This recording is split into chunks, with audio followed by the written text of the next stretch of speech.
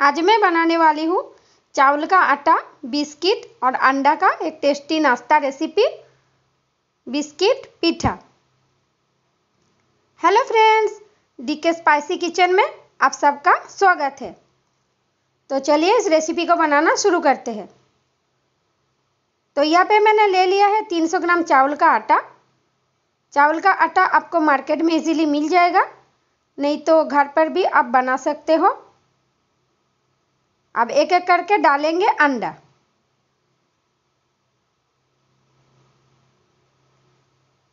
तो डालेंगे पाँच अंडा।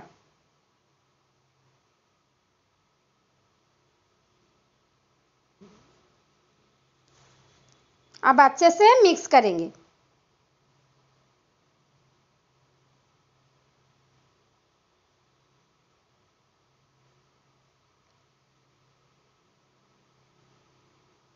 अब और एक अंडा डालेंगे।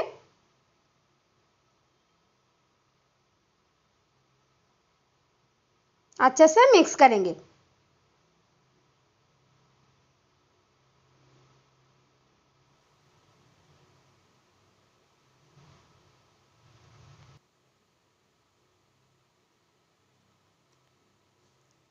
अब डालेंगे चीनी और डालेंगे दो अंडा। पानी नहीं डालेंगे। आपको अगर लगे बैटर मोटा है तो अंडा डाल दीजिए। और अगर लगे कि बैटर पतला है तो चावल का आटा डाल दीजिए थोड़ा सा।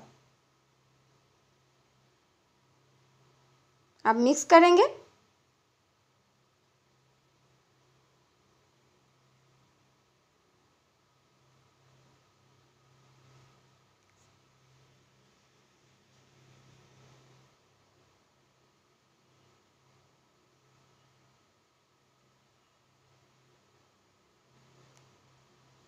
बैटर में कोई लम्स रहना नहीं चाहिए। इसलिए अच्छे से मिक्स करेंगे।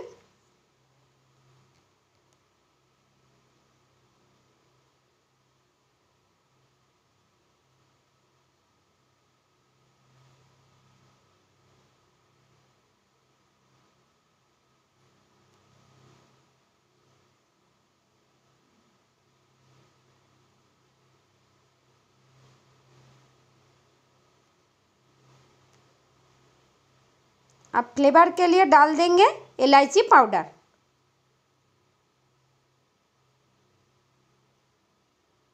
मिक्स कर लेंगे।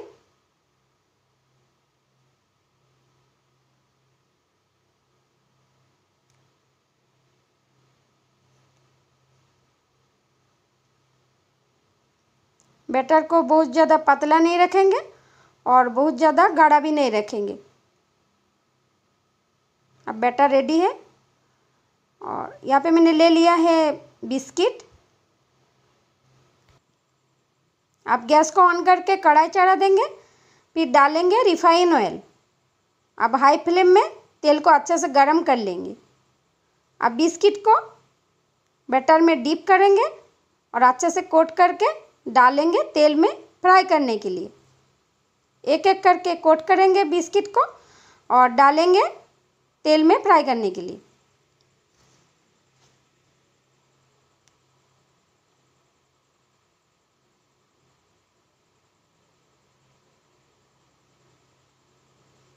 दोनों साइड से अच्छे से फ्राई कर लेंगे।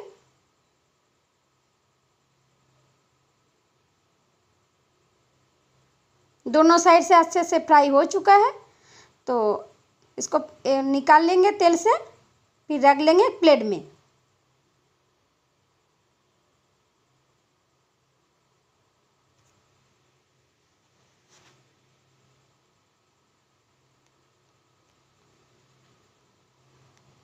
बाकी बिस्किट को डिप करेंगे बैटर में और डालेंगे तेल में फ्राई करने के लिए।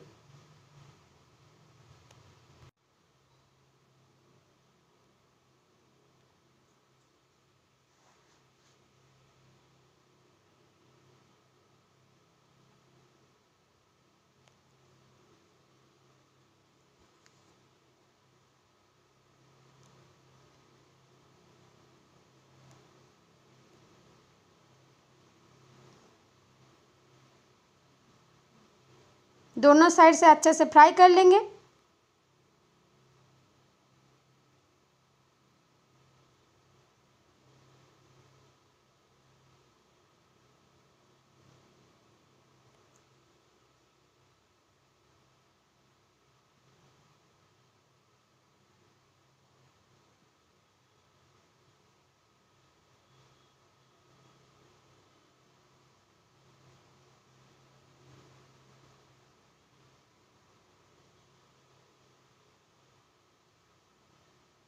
अब निकाल लेंगे तेल से, फिर रख लेंगे एक प्लेट में।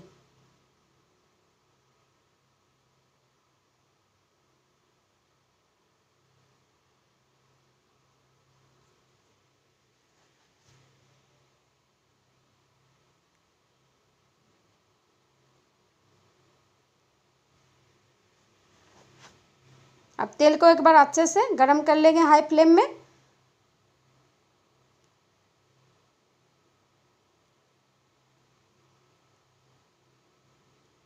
बिस्किट को डाल के फ्लेम को कर देंगे मीडियम।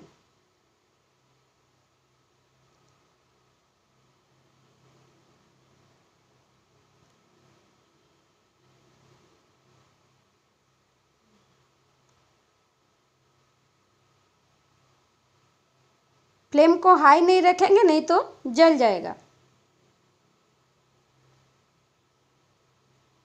और अंदर से ये कच्चा रह जाएगा। इसलिए फ्लेम को मीडियम ही रखेंगे।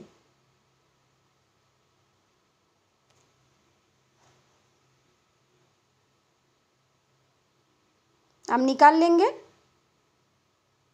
तेल से और रख लेंगे प्लेट में।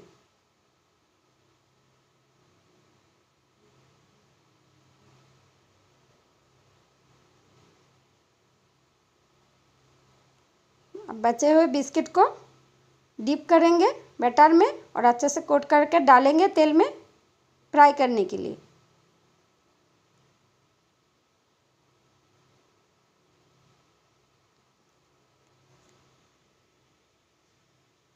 और फ्लेम को रखेंगे मीडियम।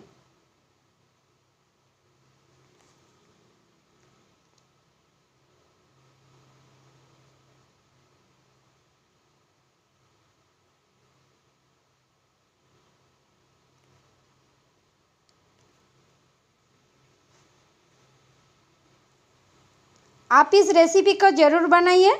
बच्चे और बड़े सभी पसंद करेंगे। मेरी रेसिपी अगर आपको पसंद आया है तो प्लीज़ लाइक शेयर और सब्सक्राइब करना ना भूलें।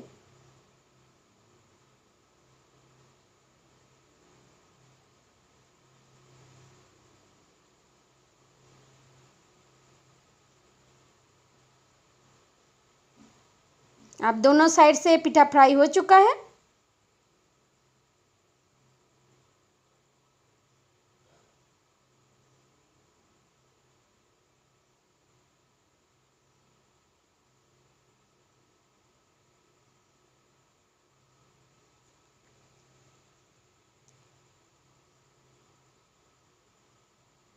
अब पिठा को रख लेंगे प्लेट में।